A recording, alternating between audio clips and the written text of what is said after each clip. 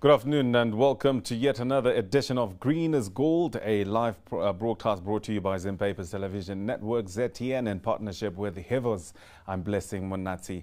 Now today's show is the fourth in a series of ongoing discussions on renewable energy in line with Hivos's uh, Green and Inclusive Energy GIE program. The GIE program aims to address the energy poverty situation in Southern Africa and also increase clean energy access to vulnerable and marginalized groups. Now, this afternoon, we will demystify the concept of net metering, its benefits, best practices, implications, and also access, uh, also assess uh, rather how well prepared we are as a nation uh, to embrace this route of embedded generation. Now, to answer these and other questions, I'm joined in studio by Zimbabwe's Minister of Energy and Power Development, Advocate uh, Fortune Chasi. Uh, Honorable Minister, thank you so much for joining us. Thank you for having me. Also in studio with me this afternoon, uh, Tawanda Muzamwese, Chief Sustainability Consultant with uh, Toxiconsult Consultancy. Uh, good afternoon and uh, good to have you back on the show. Thank you very much for having me on the program. Now, feel free to engage us uh, during the course of the show uh, through our social media handles, our Facebook page, Zim Papers TV Network. On Twitter, it's at ZTN News. Now, Minister Chasi, uh, to get the ball rolling, can you give us the long-term plans for Zimbabwe as far as renewable energy sector is concerned and also our progress towards net metering? Well, thank you very much uh, for organizing this particular program. Um, renewable energies are the new kid on the block in the country at the moment. Um, we've taken a bit of time to focus on this particular area and uh, my ministry uh, is now determined to make uh, and have incremental developments in this area. We, as you know, now have a renewable energy policy. It's one of the critical building blocks uh, for, for us in this area. We're also working on a, um, a, a, policy that speaks to the various energy sources that we have got in the, in the country, an integrated resource plan, which we have not had in the past. Now, as you know, failing uh, to plan is planning to fail. Uh, we've already been uh, hard hit by the hydrological developments uh, at Kariba Dam.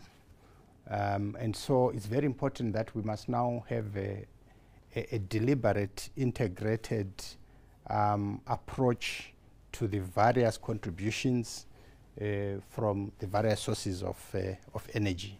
And so our eyes at the moment um, are very much um, focused on solar energy and we're putting together the build building blocks at the moment. We're very happy that uh, um, commercial entities, some of the big um, consumers of power, uh, are now very much uh, appetized for solar. You, you have the Schweppes of this world who have spent over a million uh, dollars coming up with their uh, maybe just over a megawatt. Uh, Econet um, has done that and we're encouraging um, other companies to go that way. Mining entities who are um, uh, guzzlers of power have come to the table and a number have been They've applied for licenses. I think five or so were licensed in the last week. And we'd like to grow this business. We would also like to um, move very quickly in the area of rooftop um, solar. And we, we think that we can develop a fairly big virtual power station if we're able to harness the excess power that uh, the, the um, investors, whether domestic or commercial, have put into their own capacity to produce power. Government's approach in this respect is really to say that um, is really to say power to the people, so that we are moving um, significantly from the old model where the public, commercial or domestic, were simply consumers of power we now call them prosumers of power. Mm -hmm. Want them to consume what ZESA produces, uh, but we also want to give them an opportunity to see the generation of power domestically mm -hmm. at uh, one's household or in the industry uh, to produce power and see it as uh, a business which can be adjunct to either the uh, domestic consumption or the commercial business that a particular company is doing.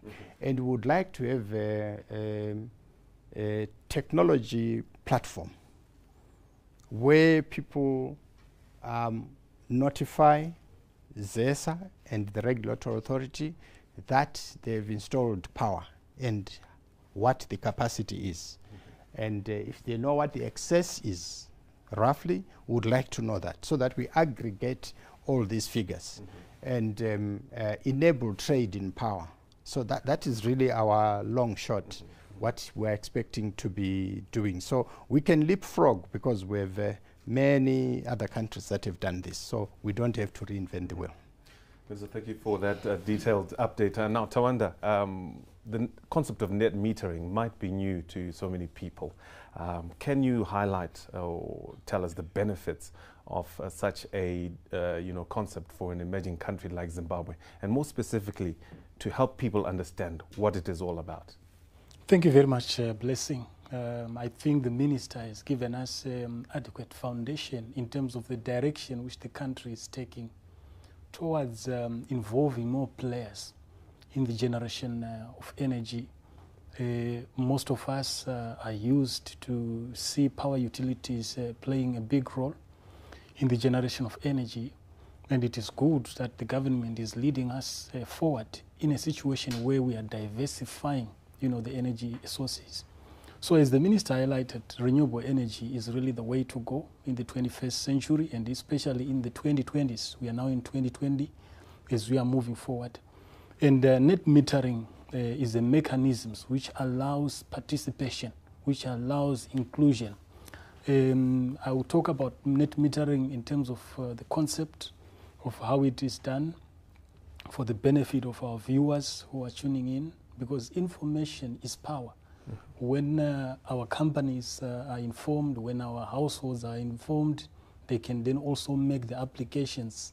We've heard that about five institutions have actually recently been uh, approved uh, in the past uh, week. So net metering is a situation which uh, augments uh, producers of electricity with our grid. We know that uh, Zimbabwe, just like any other uh, developing country, is aiming to help us to end energy poverty. Uh, and energy poverty is an issue which is across the world. There is no country in the world which achieved the highest level of socio-economic development without uh, providing access to energy. And this is what the Ministry of Energy and Power Development is doing. And according to the United uh, Nations Sustainable Development Goal number seven, it aims at you know, providing clean and affordable uh, energy. So this is a process whereby we are augmenting uh, producers of renewable energy in particular to our own grid. And for that to happen, uh, there has to be connectivity, there has to be approval, but also there has to be what we call a bi-directional meter. Uh, most of our consumers are used to their meters, which just track their own consumption. But when we now talk of uh, net metering, there's need for installation of a bi-directional meter, and a bi-directional electricity meter is able to move current in both directions, which means that if you generate your renewable energy, and if there is excess, maybe from your solar system, if you are generating uh, during the day, uh, and then you've got excess, you are using, you've got excess, you can then be able to give back into the grid. We have heard about the issue of the virtual power station, which the Honorable Minister um, has spoken about. It is high time that all Zimbabweans shift their mentality to, to say that for us to solve our energy uh, issues, we need, of course, the power stations which we already have, and also for them to perform at full capacity. But we need to think about the concept of the virtual power station, which may not really be, be visible. So you are able to export your excess uh, power that you generate from your system, but maybe at periods that you don't generate enough uh, during the night, you can then be able to get your power uh, from the grid. And then at the end of a specific period, let's say a month or let's say a year, uh, depending on a particular period that is governed by the regulator, we are then able to see that um, you can actually accumulate uh, credits. It could actually mean that you have given to the power utility uh, more, or you may actually have to pay. And when you've got net metering, it would actually also reduce your, your, your, your energy bill. So this is the concept of net metering, which helps us to augment these particular uh, systems. Now, the benefits of net metering, they are multi-pronged. But because of time, we will focus uh, on a few of them. I think uh, we'll, let's just focus on four. Uh, the first uh, benefit of uh, net metering is that it can actually alleviate the pressure on the grid. Uh, one of the things that we want to do is to reduce the pressure on the grid so that we can feed more onto what onto the grid in terms of our generating capacity. So if you've got more uh, producers who, uh, who are also consumers, just like the honorable minister has highlighted prosumers, it also means that the demand and the strain on the grid is actually reduced. But secondly, we want to talk about the issue of the socio-economic development of this country and also the ability to raise income by companies and individuals. Um, many organizations and many individuals, they are paying for more energy than they actually are supposed to be paying for because you know they are not uh, efficient in their processes. And this is what we want to encourage industry to do. So net metering can actually reduce your energy bill uh, which means that you can be able to save money you can see a company saving about 50000 thirdly we've Uh, Just, just hold on that. Maybe we can continue just after this, after this short breather. I'll give you a chance to uh, give us more on the benefits. Uh, the program is Green as Gold, uh, proudly brought to you by ZTN in partnership with uh, Hivos. Uh, today we're looking at the concept of net metering opportunities for Zimbabwe to scale up its renewable energy effort. Uh, don't go away. We'll take a short breather. We'll be right back.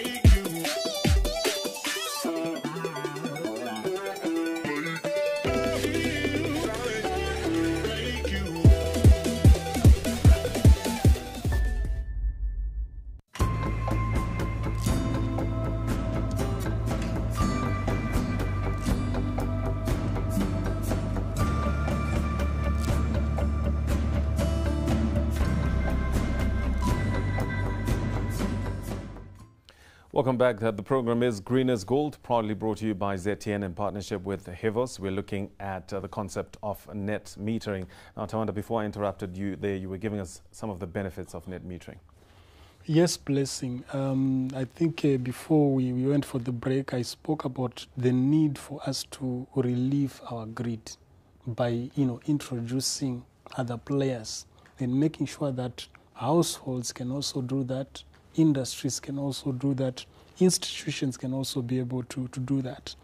Uh, which means that as a country, we can move towards energy security uh, we can move towards energy security without necessarily building many power stations, but by also creating other institutions where we are generating. And I also highlighted uh, the issue of saving money. The bottom line is very, very important. Uh, when businesses invest in their processes, they expect a return on investment. You will be shocked that many uh, companies uh, in a particular year, they pay a very significant amount of money on energy. Energy is a big cost driver. You will see that the prices of certain goods may be expensive because of the power that is actually put in the production. And then, you know, just to then add on, um, when we have net metering, bringing in renewable energy onto our grid, we are also greening the economy. We are also moving towards clean energy sources. The trend worldwide is moving towards cleaner fuels because of climate change. Uh, climate change, yes, right now the world is fighting COVID 19 uh, pandemic at a global level, which uh, has got everyone's focus. But let's not forget that we've got one of the biggest challenges that the world is facing, that is uh, climate change. You know, the minister earlier on alluded to the fact that the changes in the hydrological cycle affects our generation capacity. You want to know that the Intergovernmental Panel on Climate Change, which is the highest body in terms of uh, climate change in the world, uh, has predicted that by 2030, global temperatures will rise uh, by 2 degrees Celsius, resulting in droughts, erratic rainfall, uh, rise in health uh, conditions and diseases. So when we move towards net metering, bringing in a higher share of renewable energy, we are also fighting climate change. Mhm. Thank you so much. Uh, now, Honorable Minister, um, you did highlight that we did have mining uh, companies coming on board uh, being licensed. Um, what is the general movement in terms of licensing? Because some experts uh, feel that maybe the the licensing requirements are a bit stringent. Uh, what are some of the incentives that are there to bring in more players? Well, I think the we- we already have um, uh, regulations which I think were issued in 2015 or so on net metering. Uh, I've evaluated those. Uh, SR re- 86 yes, 2018. exactly. Mhm. Uh, I've evaluated that statutory instrument, and where we are now, would like to incentivize uh, investment in this area.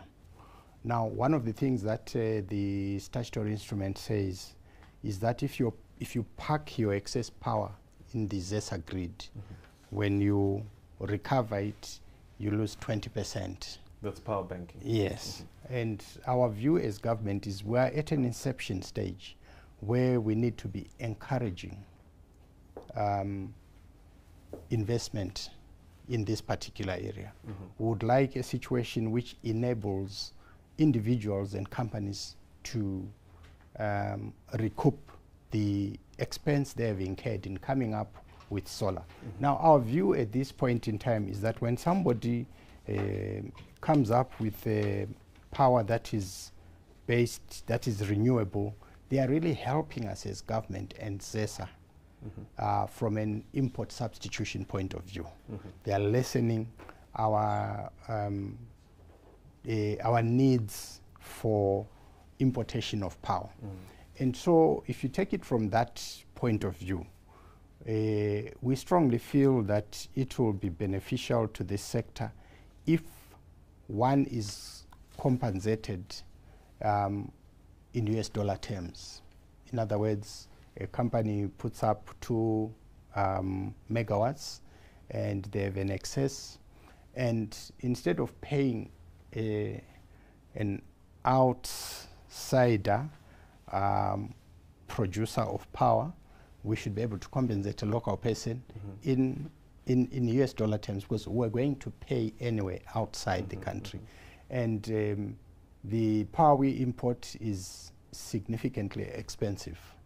And so, with somebody generating power locally, we will be able to meet the bill um, possibly at a much lesser rate, but the US dollar component will make it uh, um, worth the while for the investor. So, this is something that we're looking at. The regulations uh, limit themselves to um, payment via units. Um, I think there are situations where that can help, but um, I also feel that uh, uh, compensation in US dollar terms uh, will be uh, the thing that is going really to drive um, investors and inve- incentivize uh, domestic holdings to, to go this way. Yes. Now, Tawanda, the Honourable Minister highlights the issue of, uh, you know, tariffs. Um, how, going back to the grid contribution, how is it actually measured? And are there any limits uh, to the permitted generation uh, that can be for the different categories? And also, if someone is uh, having excess energy uh, and they're being credited in, you know, non-liquid uh, monetary term, how do they realize their benefit over time? All right, thank you very much uh, for that particular question. Yeah, it is very important for um, our listeners and our viewers to understand that uh, value is not only in, in, in cash. I think it's a mentality that we need to uh, work on to move away from materialism of you holding uh, cash. Because if you have got those units, it means that you are able to feed them in your manufacturing process and then you can actually have manufacturing value added. The country for a long time has been talking about value addition and, and beneficiation. You are able to then recoup your, your, your, your money uh, through, other, through other means. Uh, for example, um, through improved uh, competitiveness. Let's say you are in the process of manufacturing beverages or you are able to manufacture you know, peanut butter. You put your input cost, you put in raw materials, your water, your energy, and then you come up with the final price. We want to look at the margin of the product. So companies who uh, practice net metering may actually have a higher margin, whilst those who do not practice net metering, they will have a very low margin and they will try to justify you know, high prices of their goods. The regulations have been articulated by the minister, but it's also very clear that according to the regulations, there are issues for us to be looking at, you know, a 100 uh, kilowatt in terms of uh, the systems. But also it's very important that companies follow uh, regulation. This is why our ministry is there. This is why the Zimbabwe Energy Regulatory Authority is there to also regulate this process. In terms of when we talk of tariffs, we are talking about energy economics. The demand for energy is just the same as the demand of other goods and services. Government has got a dual role to play, and um, they often find themselves in a situation where they have to weigh and make critical decisions. Number one, the government of Zimbabwe, just like any other government, is there to protect its consumers.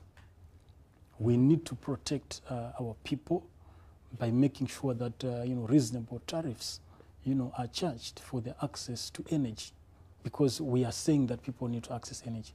Government also has a role to protect the investment of investors and you know create a conditions the conditions which are necessary for return on investment. So a tariff uh, let's not look at a tariff from the perspective of one side so as government comes up with these tariffs uh, they try by all means to balance the needs of the consumers to make sure that consumers are not ripped off of their hard-earned cash, considering also the market dynamics in the region and internationally, but also that investors have got a return on investment. We need to also consider that the tariffs are set in due consideration of the, the times of the day. Early times we've got peak demand, mm-hmm. where everyone wants power. Mm-hmm. Like uh, in the mornings from 5 o'clock to 10 o'clock, people are bathing, they mm-hmm. want to go to work. So, just like in your neoclassical economics, the demand of energy will be high. If we do not manage the pricing, then we will have serious problems. In the evenings, during your prime time, family time, 5 o'clock to 10 p.m., as people are doing their entertainment, you will see that again the load goes up. So we need to have a specific load for the peak period, specific load for the off peak periods, but not forgetting industry, which is the major consumer of energy in, in, Zimbabwe. We also need to, you, to have uh, certain tariffs which are you know, meant for industry and which we then say that in terms of their consumption, then they should not be able to surpass this uh, sort of a consumption. And mm-hmm. also from a safety perspective, mm-hmm, mm-hmm. so that, you know, uh, our, our grid uh, remains safe. And again, we also do not want a situation where the connection is done without a consideration of power quality. So your net metering regulations assure us that we get, you know, power of the proper quality. And I think more interaction of our stakeholders with ZESA will give guidelines to say what sort of power quality uh, is required. Because it's not every renewable energy generator who generates uh, power of the preferred uh, quality. Quality. Minister Chasi, um, Tawanda brings in the issue of the utility. I have to ask this. Yes, yes. Is net metering a possible threat to our traditional uh, utility provider in the medium to long term? Because we, we, we have seen uh, perceptions uh, around this slowing down uptake in countries like Namibia. Yes, um, I, I- think you can have individuals who are s- uh, stuck in the past, but the reality um, regarding where we are going as a, uh, not only as a country but continent and the whole world uh, implies uh, transformation of uh, the role that uh, organizations like ZESA have traditionally played. Um, as I said, when people um, produce uh, solar power or wind power, they are essentially gnawing away from the role of the utility um, in, several respects. But the key one is that the utility itself must have an interest in the proliferation of uh, um, solar energy, uh, given that we're obliged to be giving sufficient power to the public. And so when the public comes in and uh, aids us, um, as government, we don't see a, a, conflict there. Um, but clearly, what it implies is that uh, uh, in the long, long term, we are really transforming the utility from uh, the boss as far as power is concerned, and we're empowering, we're taking a bit of their power and giving it to the generality of the public for them to be able to produce this much needed power. And uh, organizations like ZESA, for example, will have a selfish interest in the development of this sector because uh, they've got financial challenges, they will also have skills challenges and other challenges. And um, when a company uh, talk, for example, of uh, the example of Schweppes that I've used, uses its own million dollars to generate power. Uh, that is complementary to the role that the um, the utilities uh, play, and I, I think that that message is very easy to understand, and it has been understood by the utility. Uh, there is need for complementarity between uh, ZESA, for example, and uh, IPPs. Uh, both require each other. Uh, one cannot rely solely on solar. You still need the facility of the infrastructure of And Tawanda was talking about the human resource, the technical aspects. Exactly, all that. So I, I think really it's something that uh, I am personally determined as a minister to run with, and uh, I, I'm aware that ZESA itself is very much in, interested uh, in this. They, they've uh, made indications that uh, they would want to develop 500 megawatts, and and that is good. And they can partner with. Uh, uh, local or foreign companies to achieve this. It doesn't have to be on their balance sheet. All they have to do is to play a facilitator role to make sure that uh, this happens. Yes. The program is Green as Gold, uh, proudly brought to you by ZTN in partnership with uh, Hivos. Today we're talking about net metering and its relevance in uh, Zimbabwe's renewable energy space. Uh, don't go away, we take a short breather, we'll be right back.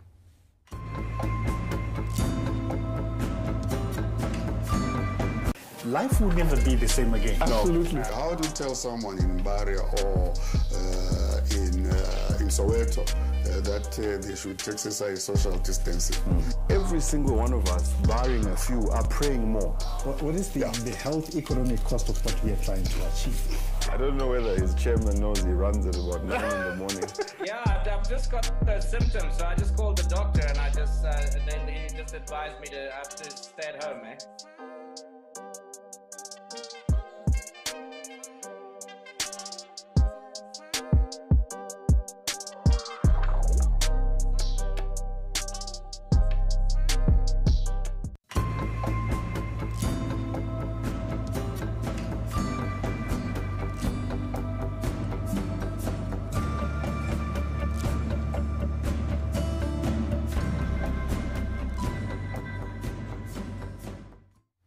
The program is uh, Green as Gold, brought to you by Zimpapers Television Network and Hivos. We, today we're talking net metering and uh, trying to understand uh, this uh, relatively new concept and its opportunities for Zimbabwe's renewable energy space. Now, Tawanda, um, what are the common threats and barriers um, that we can look out for, you know, in our quest for net metering?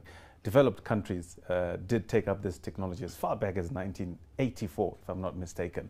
Uh, why has it taken so long for developing countries to come on board?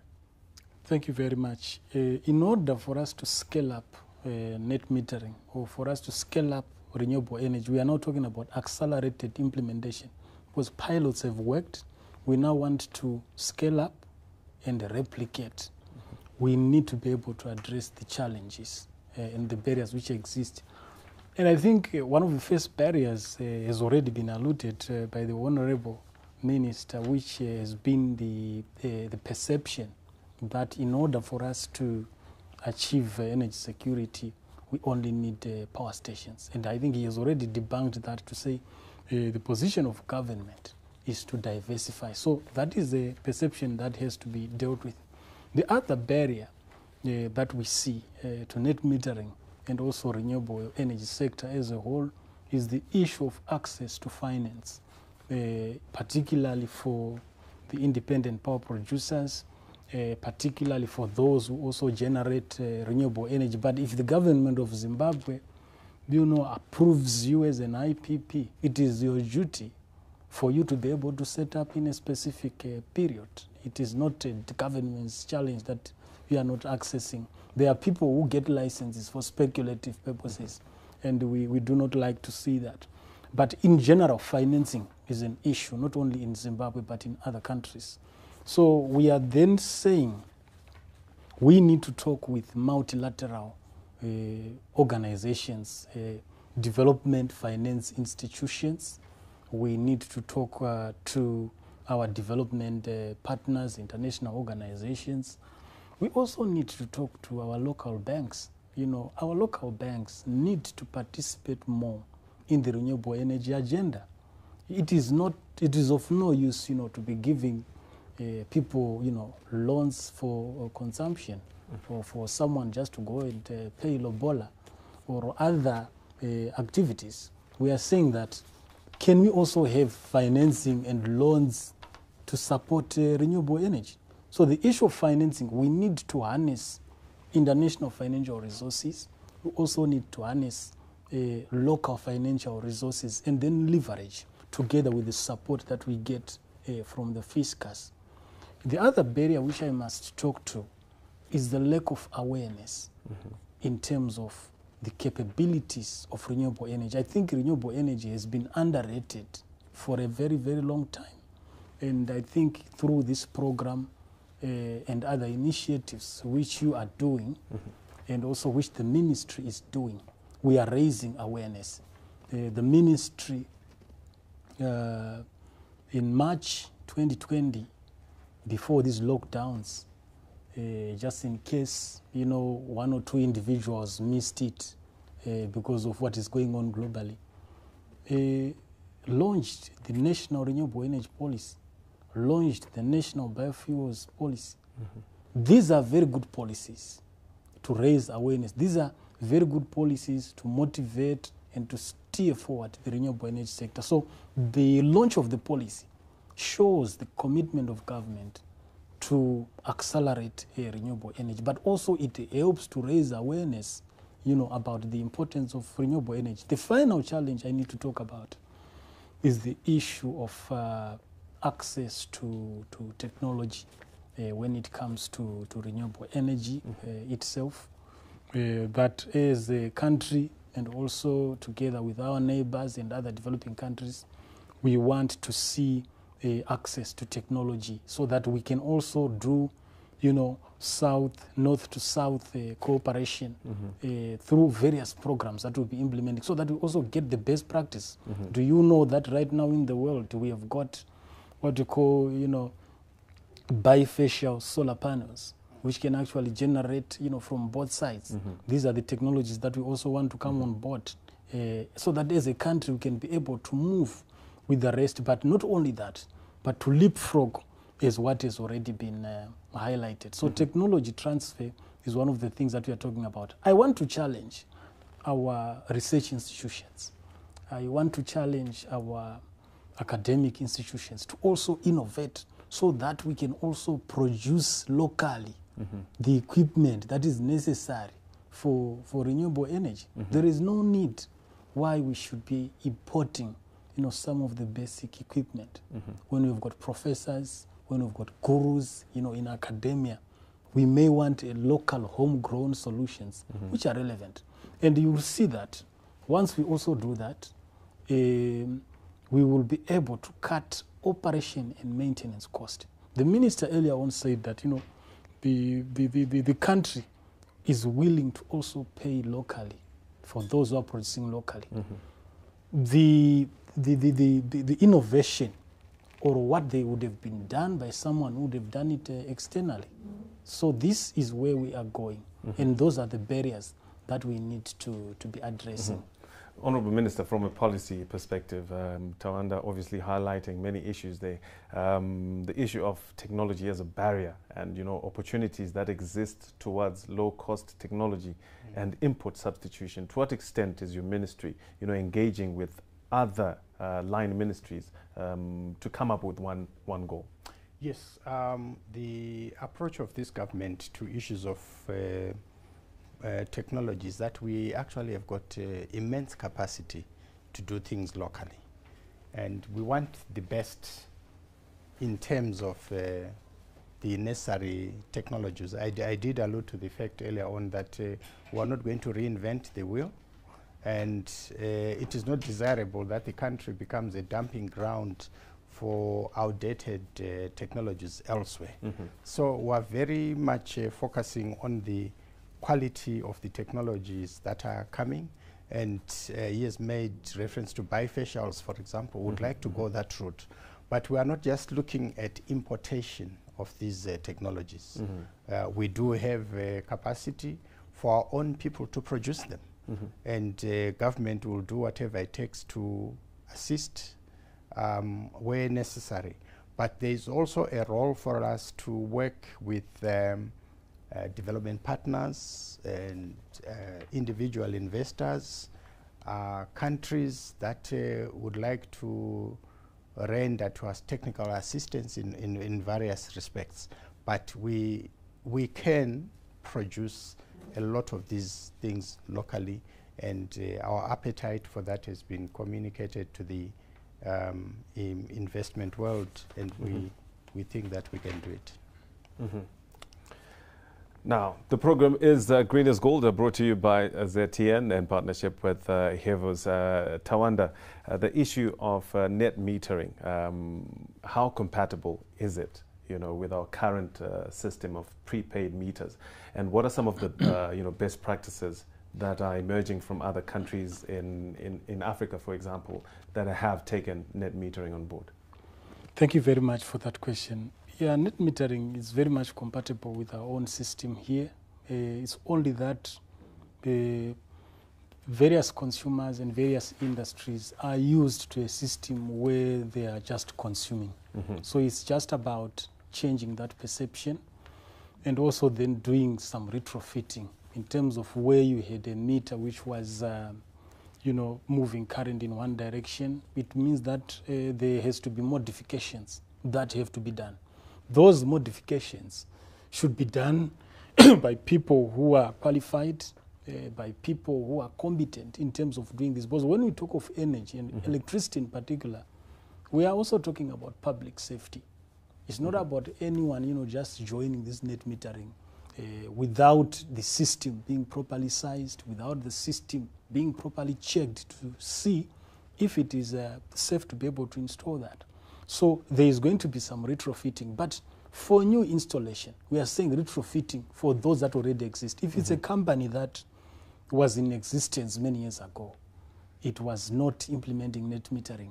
Uh, the honorable minister, you know, made reference to companies like um, Schweppes Zimbabwe Limited, who are now really uh, the pace setters. You know, having a one megawatt uh, plant, which is the biggest in sub-Saharan Africa, outside South Africa, because they were also at that stage. Some retrofitting had to be done. In order for us to save money, we may have to, to do that.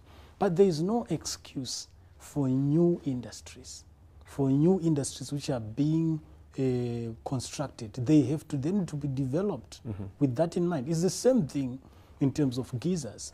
We know that geysers are some of the biggest energy consumers in the country, In the. Mhm. especially in this winter period that we are getting into. And what are we saying? We are saying let's retrofit for those who already have uh, uh, built uh, their properties. They can retrofit with solar geysers.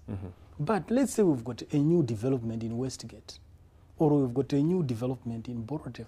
There's, there's, there's no reason for us not to, not to go that route. Now, is net metering likely to present any challenges with consumptive and productive taxes, in your opinion? I do not think that it will have any challenges. It's about uh, communication, it is about transparency, it is about working uh, together with, uh, with our regulator, which has been given the mandate uh, by the ministry. I know that um, in every new approach, there are going to be skeptics. Uh, there are going to be pessimists who will think that this uh, will not work. But what I want to assure our viewers is that Zimbabwe is actually now moving in the area of energy and power development. And at the end of the day, we do not want anyone to be left out so that you, when you see others now benefiting, that's where you want to get involved. Our time is uh, fast running out. I'll kindly ask uh, gentlemen to give us your, your, your closing uh, contributions. Uh, maybe I'll start with you, um, and then I'll give the Minister a chance to wrap it up. My closing remarks is that uh, net metering is a low-hanging fruit for Zimbabwe in terms of us uh, achieving energy security. It will help us to scale up the adoption of renewable energy. It will help us to address, you know, three key issues that uh, we want to achieve. Poverty is a key challenge that affects the world. And um, according to you know, international assessments, a person who is living below a dollar a day is living in extreme poverty. You would rather give someone energy than just give someone a dollar. So when we go towards net metering and renewable energy, we are really empowering people to be able to generate income from energy. But through the renewable energy agenda and uh, also net metering, we can be able to create uh, green jobs. And finally, we do not want to be judged harshly by our children. We do not want to be judged harshly by the future generations. We must green this planet because if we continue with the current patterns of production and consumption, which are based on fossil fuels like coal, we will need two planet Earths by 2050, and it will not be sustainable. So let us support this initiative. Thank you, Tawanda. Honourable Minister. Yes, uh, w- we do not have a choice. Um, um, uh, we must go green. We have international obligations that we uh, look at uh, very seriously. Tawanda has uh, made reference to SDG 7. So we must do this. Practically, we've been victims of cli- climate change. We've seen what has happened at uh, Kariba. We've also seen what has happened uh, with regards to Cyclone Idai. Uh, we are currently in the throes of a drought, and the government is busy doing everything that is possible to mitigate this. So we must work on it, and we must be uh, committed and determined to make sure that this uh, uh, process moves ahead. Net metering, very important. Uh, solar projects, very important. They must also have uh, an economic foundation. We would like uh, the process to affect um, the new farmer, for example. Some of the people on farms, they've never paid an elec- electricity bill, would like to have uh, small grids in farms where the farmers are assured of power and they can sell the excess to ZESA, who, if they have sufficient power, uh, for example, as is obtaining at the moment, they can export that power. That's our, our long-term goal as government. We're not just looking at expanding our deficit, but we also recognize that uh, this is a business for government. We should be able to supply power to our neighbors who uh, may not have sufficient power. So that is how we, we are viewing this uh, process, and we will do whatever is necessary to incentivize. Would like technical assistance, would like suggestions from the public, particularly those that are invested already into solar, to say what does it take. We don't want a solo approach to this. We would like to be educated by investors as to what it is that will work for them, and they will find uh, us uh, very willing to, to work with them. Gentlemen, thank you so much. We don't have a choice, uh, according to the minister. We must green this planet. After all, we do owe it to posterity. We are coming to the end of the program Green Is Gold, brought to you by ZTN in partnership with Hivos. Today, we were focusing on the concept of net metering. Uh, many thanks to our partner Hivos, who made this broadcast possible through their Green and Inclusive Energy Program (GIE) uh, that seeks to stimulate and enable Southern Africa's energy transition towards renewable energy technology. Uh, visit their website hivos.org to find out more about their work. Work and also their programs. I'd like to thank my panelists for today, Advocate Fortune Chasi, uh, the Minister of Energy and Power Development, and Mr. Tawanda Muzamwese, Chief Sustainability Consultant with Toxiconsol Consultants. Uh, not forgetting our viewers who followed this discussion through our social media platforms. Uh, thank you for your thoughts and comments. Uh, Green Is Gold is back on your screens next week. Until then, stay safe. I'm Blessing Manatsi. Goodbye.